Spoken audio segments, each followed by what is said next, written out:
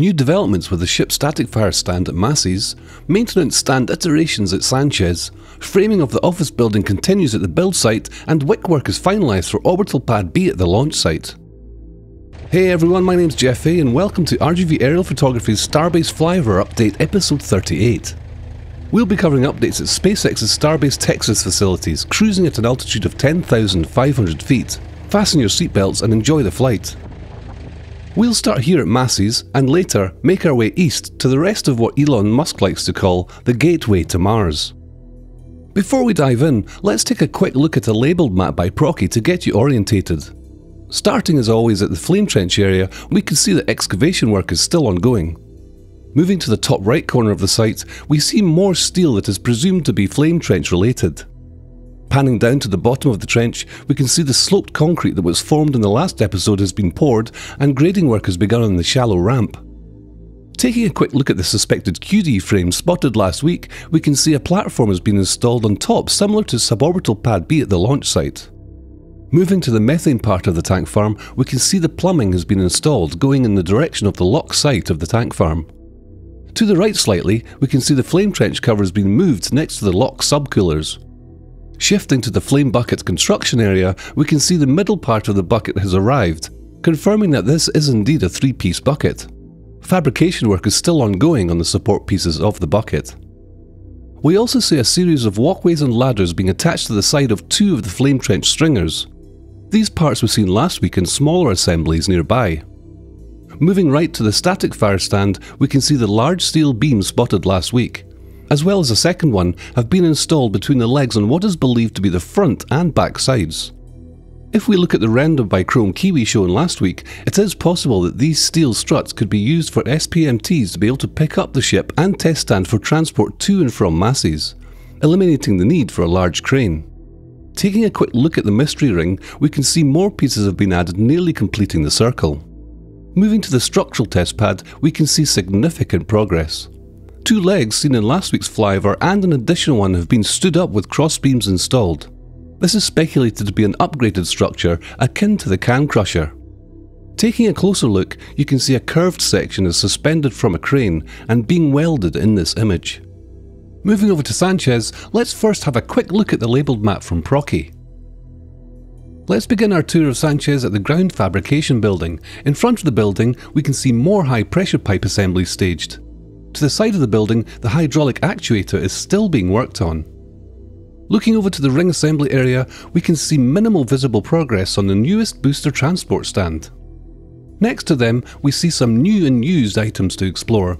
The lift platforms for shipwork stands 1 and 3 have been partially disassembled. Tucked tightly next to them is continued work on the second booster cap ring. Moving to the tower construction area, we can see that not much progress has been made on sections 8 and 9 since the last flyover.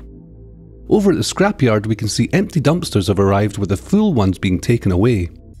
The commodities farm looks largely the same with the removal of some pipework to the right of the tank above the high pressure gas tanks, as well as the large horizontal tank receiving a fresh coat of paint. Over at the rocket garden, not much activity has occurred, only a two point lifter and stand being staged here following the placement of S30 in Megabay 2. Finally, we visit the site of the parking garage where concrete pile cap footings have been poured and excavation of structural piles continue as crews work to prepare the structure's foundations. Next, we move to the build site.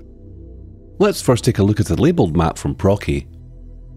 Starting off from Megabay 2, we can see the concrete pits of the workstations on the left. Little seems to have been done with these since last week.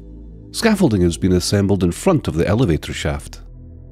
Unseen is S30, now resting on the centre workstation, with work to prepare for Raptor install taking place. As seen in this clip from Lab Padre, we can see crews place S30 on the stand. Looking over to Megabay 1, through the door we can see B14's methane tank. The final ring section seen last week has now been stacked, leaving only the assembly of the two tanks to complete stacking of another booster. B12 and B13 remain on their work stands, with the back right stand currently vacant.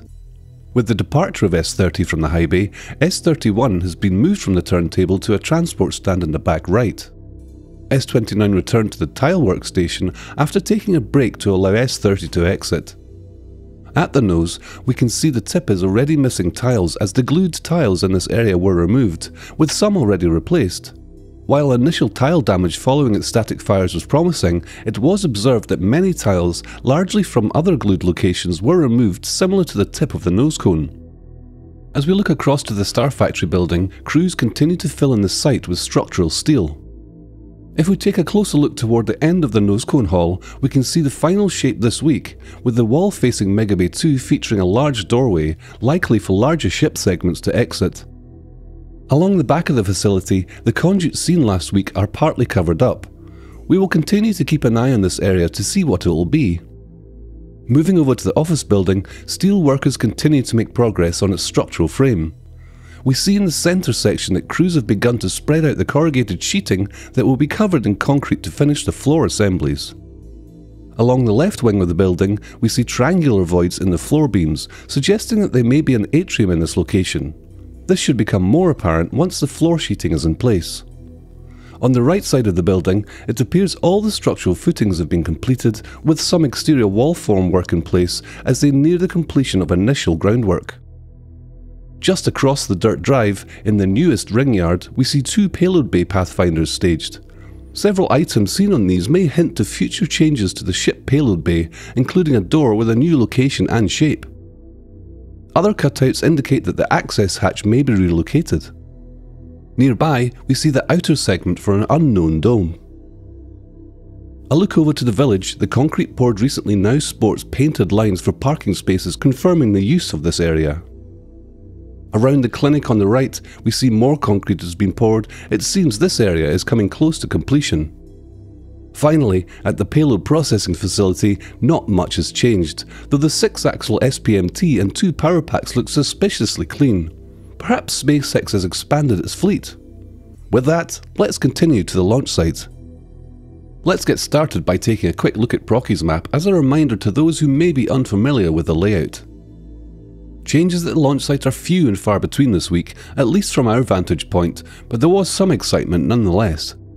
At the site of the next orbital launch pad, it appears the installation of the prefabricated vertical drain wicks has finally come to an end. Both machines are having their booms dismantled, marking the end of this important first step. It's currently unknown what the wait period will be before drilling of piles for the next tower or OLM begins. As for the narrow strip of wetland between the two areas that have drain wicks, we're still waiting to hear the result of SpaceX's procurement request. The public comment period for the request has ended, so hopefully some news will be released soon. Moving on to the tank farm expansion area, work to incorporate the new horizontal tanks continues. Reportedly, some venting was even noticed from the first tank for the first time on Friday evening, April 5th, which is suspected to be for liquid nitrogen storage.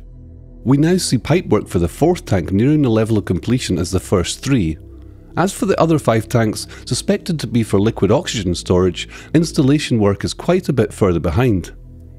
Following our flyover early Friday morning, crews began erecting the three large vaporizers currently on site. They have been placed on the embeds that were previously spotted on the small pad next to the two vertical white tanks near the main entrance. Moving around to the rear of the tank farm, it looks like some concrete work still remains to be done near the berm to protect the pipework that protrudes around the corner just below ground. Now we arrive at the star of today's launch site coverage. SpaceX wasted no time getting B-11 onto the OLM following Flight 3, with just over three weeks passing this time between Flight 3 and rollout. Our flyover took place just hours before closure of the pad and road on April 5th. The tank farm finally came to life and the OLM began to vent about mid-afternoon. Prop load began just before 4pm starbase time and within no time B-11 had a full LOX tank and partially loaded methane tank. At approximately 4.30pm, the detonation suppression system activated, followed shortly after by the flame deflector plate. At last, B-11 roared into life and completed a static fire lasting somewhere between 5 and 10 seconds. This epic footage, captured by our own cameras in the dunes, shows the violent nature of the shockwave and smoke-filled plume as it interacts with surroundings. In this zoomed-in view, watch how the recently constructed blast wall diverts the plume. Minor debris can be seen ejected from the plume. If you're wondering whether the test was a success or not, the temporary road closure posted within an hour of the test concluding is a solid indication of a success. Rollback of B11 to Megabay 1 to configure it for flight was already on tap. While SpaceX didn't confirm or deny the success of the firing, they posted incredible drone footage of the event later that evening to X stating static fire of the Flight 4 Super Heavy booster, followed shortly after by some stunning still images. The OLM maintenance platform was moved back into position and raised on Saturday, likely to inspect the vehicle for potential damage and reinstall the engine covers to prepare for rollback. Scaffolding was erected once again later that evening. Just after lunch on Sunday, B11 was removed from the OLM and placed on a transport stand ahead of rollback later in the day. The booster entered Highway 4 on its way back to the build site around 10.30pm Starbase time. Before we close out today's video, we have some big news on the future Starship development front after an unexpected Starship presentation hosted by Elon was dropped by SpaceX Saturday afternoon on X. In the presentation, he discussed the near-term goals for Starship, implementation of Raptor 3, along with the expectations for version 2 and 3 of Starship. Highlights of near-term goals include the potential for a booster catch, which could happen as soon as Flight 5, assuming all goes exceedingly well with Flight 4. Otherwise, this will likely push to later in the year. Ships are not expected to return to the launch site until at least two successful splashdowns have occurred. He mentioned the use of a virtual tower as a target for landing the ship in the ocean. By the end of next year, hopes are to have two launch towers in both Boca Chica and Florida, with at least one of the Florida towers, presumably 39A, coming online mid 2025.